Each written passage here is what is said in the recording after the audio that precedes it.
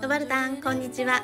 今回はドブロブニク観光で何をすべきかがわかる必見ガイドです。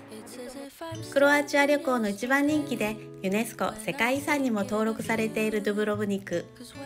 日本では魔女の宅急便の舞台になったとよく言われ目の前に広がるアドリア海は紅の豚の舞台にもなっています。また海外の大ヒットドラマ「ゲームオブスローンズ」のロケ地としても世界的に大人気です。まずドブロブニク観光が半日しかない場合の見どころといえばズバリ旧市街散策。鶴路山からの眺望。そして城壁巡りです。鶴路山からはドゥブロブニクを代表するこの風景を見ることができます。頂上には絶景レストランがあって食事やドリンクも楽しめます。鶴路山からの眺望を楽しむおすすめは朝の東から太陽が当たる時間帯ですが夕日や夜景も素敵です。鶴路山に登るにはケーブルカータクシー徒歩のオプションがあります。ケーブルカーは片道4分。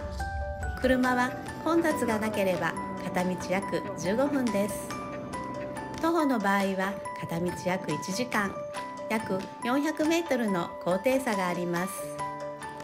見どころスポットや交通機関などの注意点など詳細については別動画で詳しくご紹介しています。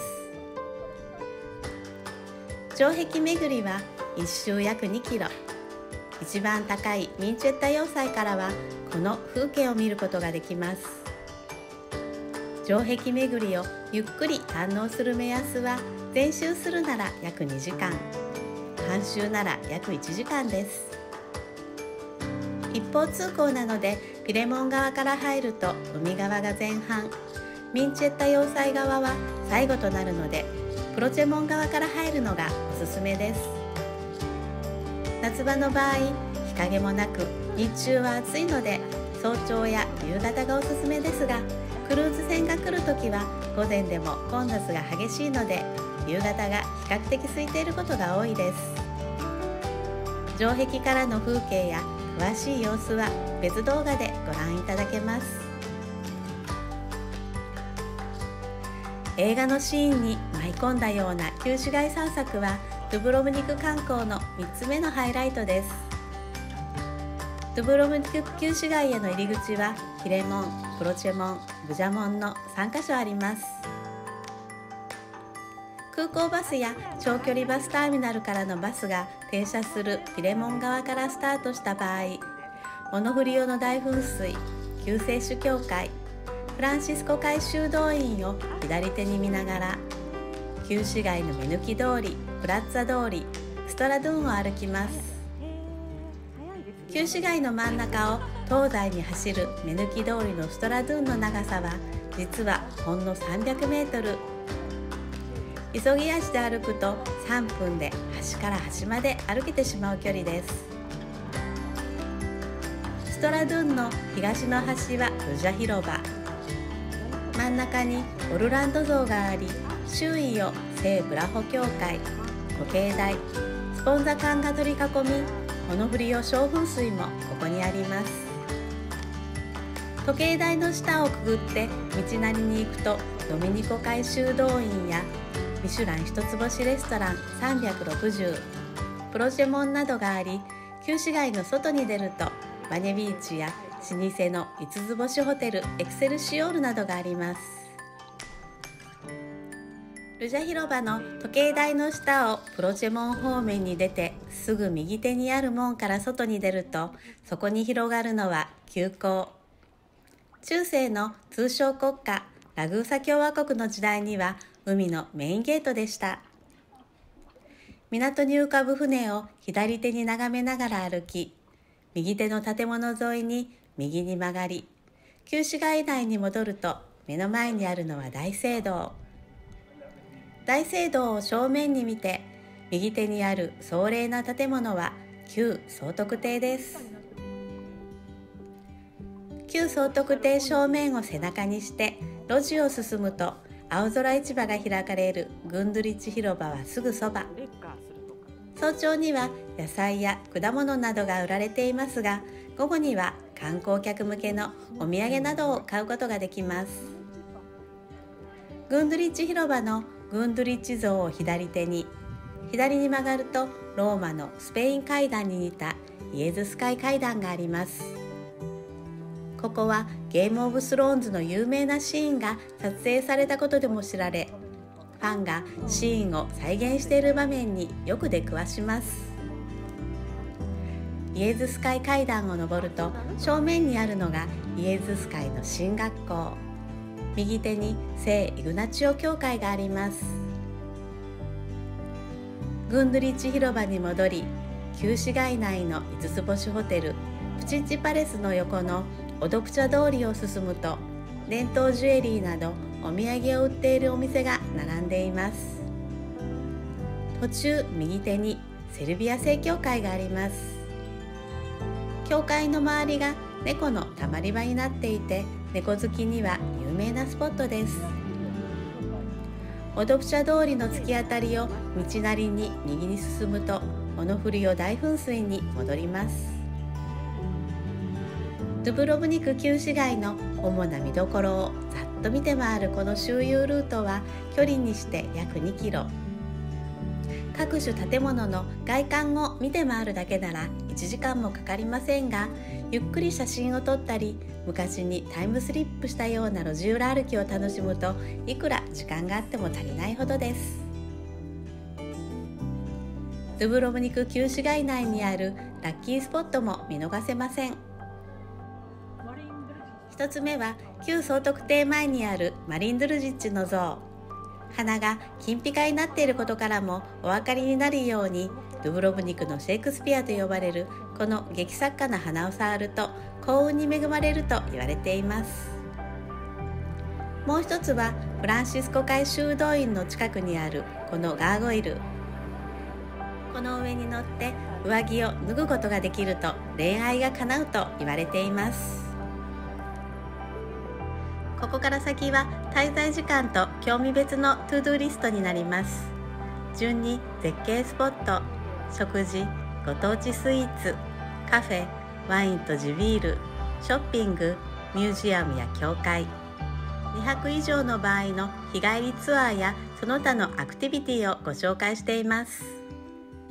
ドブロブニクにはクロアチアの首都ザグレブを早朝5時台。帰りを夜の9時台などのフライトを選び日帰りで観光を楽しむ方もいらっしゃいます。またせっかくなので1泊するとドゥブロブジークの夕景やナイトライフまだ混雑が始まる前の早朝の様子なども楽しむことができます。こうした場合はご紹介した3大必見スポットの他に興味に合わせて様々な楽しみをプラスすることができます。紺碧の海に浮かぶオレンジ屋根の旧市街のザ・ドゥブロブニクの絶景を楽しむなら前述のスルジ山と城壁の他に以下のスポットがおすすめです。ロブリエ夏要塞からはこの絶景を見ることができます。城壁と共通チケットで入場できます。人気テレビドラマのゲームオブスローンズではレッドキープ。トゥーチェロズステーパンハウザーのミュージックビデオのロケ地にも使われているので見覚えのある方も多いかもしれません。西からの夕日が巡行となる午後から夕方がおすすめです。ピレモンからロブリエナツ要塞へは徒歩約5分で行くことができます。プロチェモンからホテルエクセルシオールに向かう途中のマネビーチからはこの絶景を見ることができます。ここは東からの太陽が巡行となる朝がおすすめです。プロチェ川エリアにあるホテルやプライベートアコモデーションに泊まっても良いですが民泊の場合階段が多いのでご注意ください。プロチェモンからマネビーチのこのスポットまでは徒歩約5分です。空港や鶴路山から車で旧市街へ行く途中にも絶景ポイントがあります。東からの太陽が巡行となる朝がおすすめです。観光シーズン中は旧市街発方面の場合車が止まりにくいので要注意です。150メートルの上りになりますがプロチェモンからなら1.1キロなので頑張れば徒歩でも行けます。交通量の多い道路沿いなのでくれぐれもご注意ください。ドゥブロブニクでの食事ではシーフードが見逃せません。中でも特におすすめなのは新鮮な牡蠣。ドゥブロブニクから約50キロ離れたマリストンの牡蠣棚からやってきます。この他にもイカスミリゾットやイカのフライブザラなどは定番です。クロアチアでおすすめのシーフード料理については別動画で詳しくご紹介しています。ドブロブニクではミシュラン一つ星レストランからカジュアルなピザ屋さんやハンバーガー屋さんまで多彩なレストランが揃っています。レストランガイドのミシュランやゴエミオのウェブサイトを参考にすることもできます。ドゥブロブニクならではの路地裏のレストランも雰囲気がありますが、とっておきの旧市街の絶景が楽しめるレストランなら、ホテルスタリグラードのアバウブ5とプリエコパレスのスタラロザがあります。また、海に浮かぶドゥブロブニク旧市街を眺めながら食事を楽しみたいなら、スルジ山のパノラマレストラン、ホテルエクセルシオールのレストランやナウティカレストラン、ドブラブカレストランでいずれもテラス席を選ぶと良いでしょう。ドブロブニクに1軒しかないミシュラン一つ星レストラン360やその他の各種レストランについては別動画でご紹介しています。ドゥブロブニク観光で必ず食べてしまうものといえばアイスクリーム。ドゥブロブニク旧市街にはアイスクリーム屋さんがたくさんあります。ここ数年素材にこだわったクラフトアイスクリームが食べられるお店も増えてきています。詳しい最新情報は別動画でご覧ください。ダルマチア地方のご当地スイーツといえばロジャータです。プリンに似た素朴なスイーツでカフェやレストランで食べることができます。このほか異色のご当地スイーツといえばマカロニケーキ。近郊ストーン発祥です。外国人受けはいまいちですが、話題作りに試されてもいいかもしれません。お土産にも自分用にも人気の伝統ご当地スイーツといえばアランチーニ、リムンチーニ、シュガーコートアーモンド、ドライチジク、コントニャッタです。青空市場のほかお土産物屋さんでも売っています。フォントニャッタは西洋カリンマルメロで作った昔ながらのお菓子です。観光の途中で一休みするのに最適なカフェは旧市街のスラドゥンや路地裏にたくさんあります。グラツカカバナは昔からある老舗のカフェ。ルジャ広場の高立地とクラシックな雰囲気で人気です。朝食も美味しいそうです。城壁の外には海に面したワイルドなカフェブジャバートが2軒あります。いずれも城壁の小さな穴をくぐってアクセスします。ドリンク専用で場所柄サービスは至ってシンプル。夏には海に飛び込むお客様もいらっしゃいます。味にこだわるコーヒー通に人気のドゥブロブニクで一番美味しいと言われているコーヒーならコギトコーヒーです。首都のザグレブ発祥。クロアチアベストバリスタがプロデュースするコギトコーヒーはこじんまりした直営店のほか提携ショップで楽しむことができます。旧市街からは徒歩約10分と離れますが穴場はホテルエクセルシオールのカフェです。旧市街ビューが一望でき広々としたクラッシーな空間ではゆったり優雅に過ごすことができます。イタリアのお隣地中海の一部アドリア海に面したクロアチアは実は知る人ぞ知るワインの産地です。世界的評価の高いワインも産出されています。生産量が少ないためほとんど輸出されない極上ワインはクロアチア旅行中にぜひ楽しみたいものです。ドゥブロブニク周辺エリアの土着品種を含むおすすめワインですが白ならドゥブロブニク・マルバジアポシップグルク赤ならプラバツマリリンガッチやポストゥプチク酸などがおすすめです。ドゥブロブニク近郊エリアのおすすめワインについては別動画でご紹介します。ドゥブロブニクでは地元のクラフトビールも楽しめます。旧市街から車で約10分弱。長距離バスターミナルから徒歩約5分のところにあるクラフトビール醸造所にあるバーが人気です。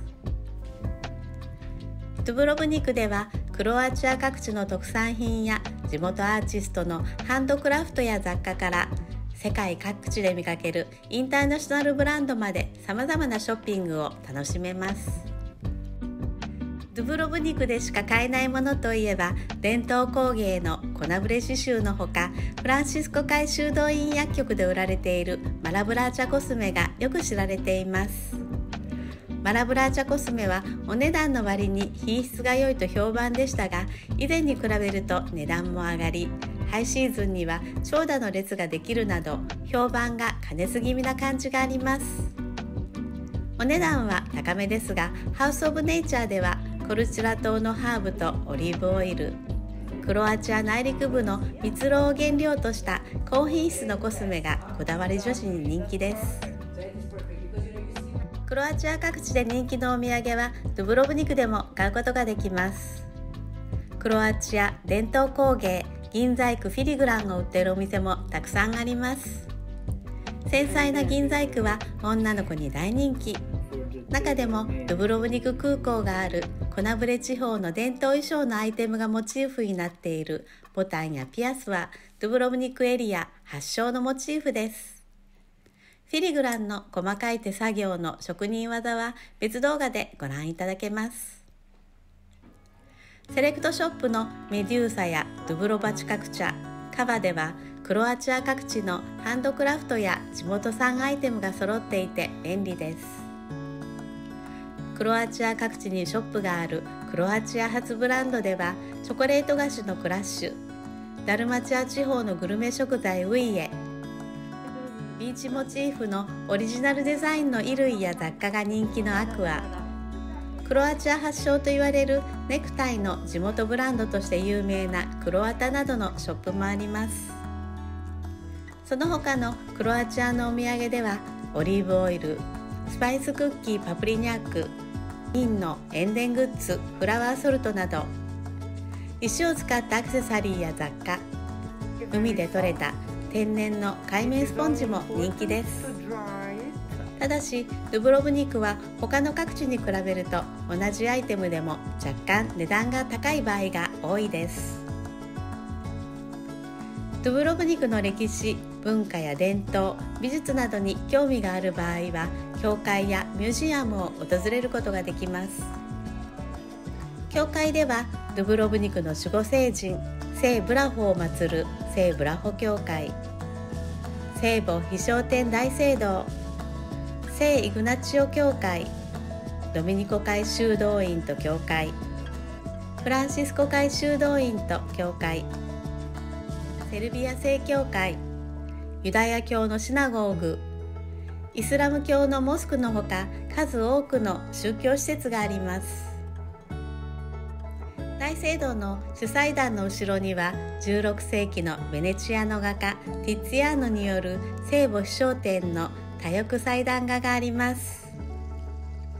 フランシスコ会修道院には教会のほか併設されたミュージアム部分には聖フランシスコの像のある噴水を取り囲む美しい回廊があります。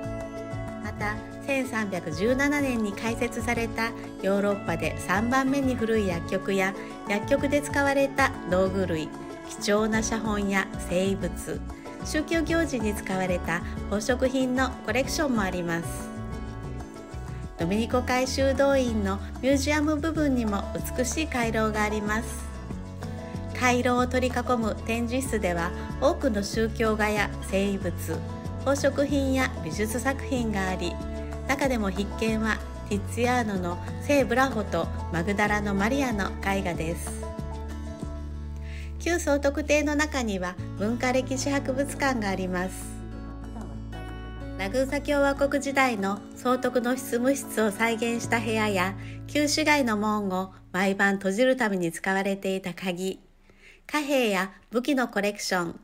15世紀の薬局の道具絵画などが展示されています。この他にも海洋博物館や民族博物館などもあります。グルージュ港からは14世紀から17世紀の補船カラガ船を再現した船に乗ってサンセットクルーズに行くこともできます。ドゥブロブニクに200以上する場合は各種日帰りツアーに参加することもできます。ドゥブロブニクから人気の日帰りツアーではワイナリー巡りや人気ドラマ「ゲーム・オブ・スローンズ」のロケ地を巡るツアーなどがあります。